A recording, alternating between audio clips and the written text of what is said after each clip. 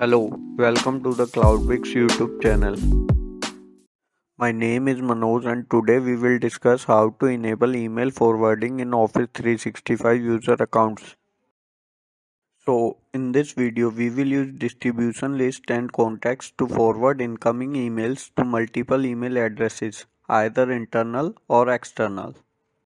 Open office.com in any internet browser and sign in using admin login credentials. Now click on admin from the apps panel to go into the admin center. First we will need to create a distribution list. See the steps on the screen to learn how to create distribution list. Click on teams and groups and select active teams and groups from the drop down menu.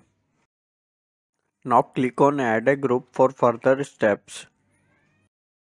A new window will open asking group details. In choose a group type, select distribution as we need to create a distribution list and then click next. Now enter group name and description and click next to proceed further. Now you will need to assign owners for group. You can select more than one owner for the distribution list. Click on the assign owners and select owners from the list and click on the add button. You can see the assigned owners on the screen. Click next to move further. Now you will need to add members in the group. Add those members whom you want to forward your incoming emails. Click on the add members, select members from the list and click on the add button. It will add the members in the distribution list and you can see the added members on the screen. Now click next for further steps. Now you will need to assign group email address. Type any name in the group email address and click next. A review screen will open. Review group details and click on create group. This will create the group. Now you can see a distribution list group created window. Your distribution list has been created successfully. Click on the close button. You can see your distribution list in the distribution list tab.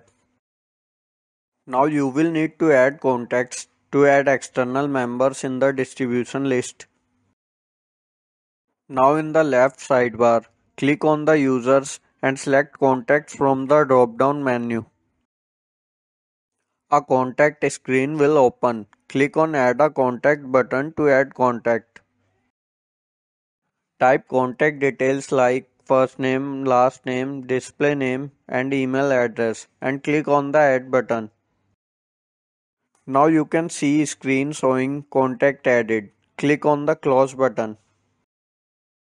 Your contact has been added and you can see added contact in the contacts window.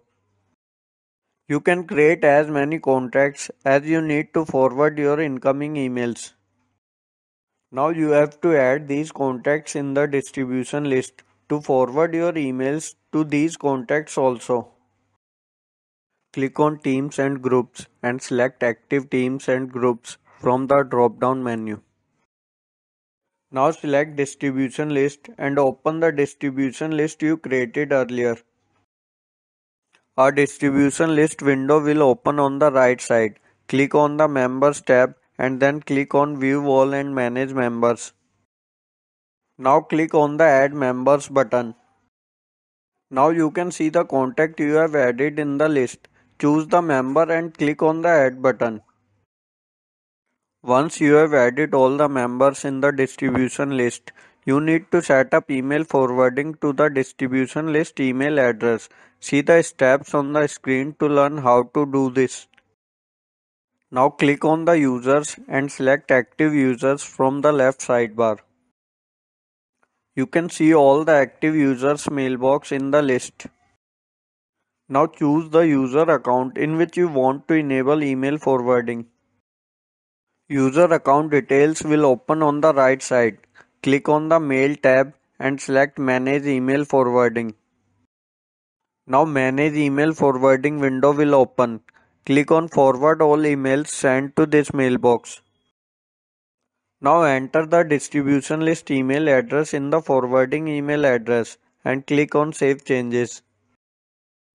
If you need to forward your emails to single person, then you can add email address of that person only.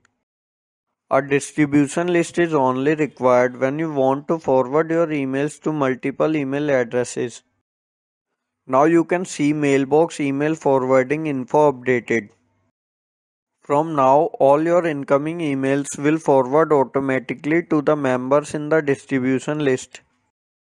With these steps, you can successfully forward your emails to multiple or single email addresses. If you have any queries, then you can ask in the comment section. Thanks for watching the complete video.